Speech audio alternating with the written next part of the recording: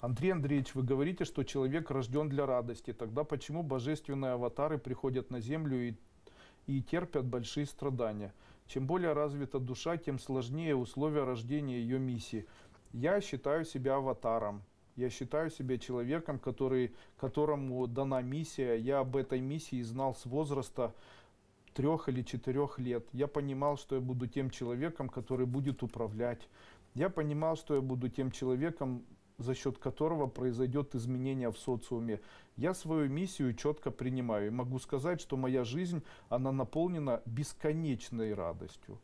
Поэтому ваше убеждение в том, что аватары их что-то преследовало и ждало, говорит о том, что у этих аватаров отсутствовало состояние радости раз и отсутствовало состояние веры. Я понимаю, что такое верить. Вы представляете, вера является моей защитой, вера является моей энергетической силой, вера является моей, наверное, аватарной энергией, если так можно сказать. Об этом всем написал даже в своей книге, она называется «Ваджарное сердце».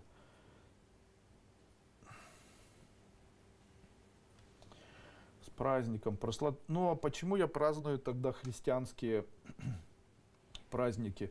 Я праздную не только христианские праздники, я праздную Новый год.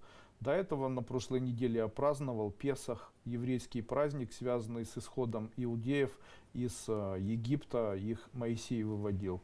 А, мы тоже купили вино, ели мацу и там из бокалов таких, а, как они называются, не помню уже.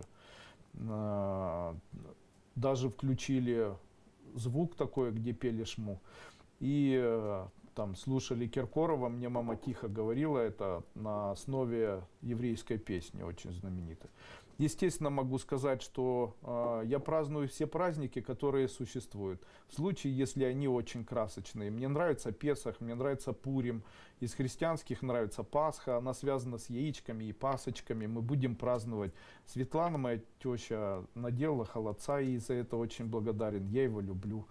А, также, скорее всего, послезавтра поедем все вместе, выйдем на природу, дети мои разукрасят красками вместе со мной эти яички вареные, будем ударяться, разрежем этот пасочку, поставим на стол, будем даже на следующий день, если кого-то там встречать, будем целоваться, потому что это самое приятное, что есть на праздник Пасхи, это встречать кого-нибудь и с криком э, «Христос воскрес, воистину воскрес!» кого-нибудь целовать в две щеки и потом со всей силы в губы, особенно если человек красивый. И знаете, это очень приятно, это дает радость, это дает э, расцвет на земле, знаете, у людей появляется доверие. Ну, в христианском мире как-то не принято людям обниматься, целоваться.